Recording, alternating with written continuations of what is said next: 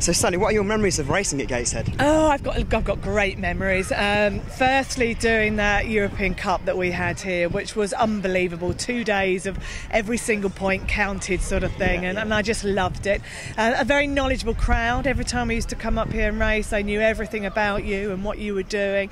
Um, and then having my last race ever, uh, which was a relay here, um, and then being whisked off to do This Is Your Life. So, yeah, really fond memories, and uh, it's lovely to have them. Oh, so, what was your best result racing here?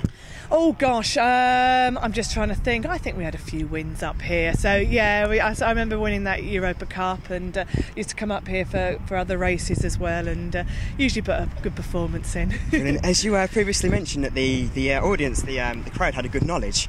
Is there anything else about the Northeast crowd that made it extra special here? Um, I think they're always very loud um, and always very welcoming. I always remember that, and I used to always look forward to it. And uh, you know, you just loved competing in front of a home crowd, and uh, you know, and, and just have that chance to come up here as well.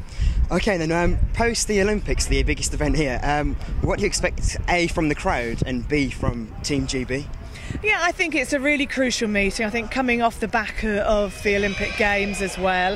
Um, and I think, you know, the athletes want to come and compete here because, one, it is the Europa Cup and every single point counts. Um, and also, I think, you know, that they want to compete in front of a home crowd again. They had that lovely feeling last year, so they want to be back here again. Yeah. And, and I think it'll be great. I think it'll be a complete sellout for the two days. And, and the Gateshead crowd will get behind them and hopefully we can come back with some wins.